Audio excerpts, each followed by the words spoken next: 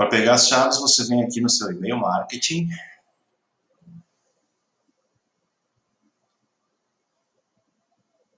E aí você clica aqui para abrir o menu, você vem API Case. E aqui você pega a sua chave pública e a sua chave privada, ok? É, e aí você cola lá onde está pedindo no seu site. Por hora é isso, espero ter ajudado.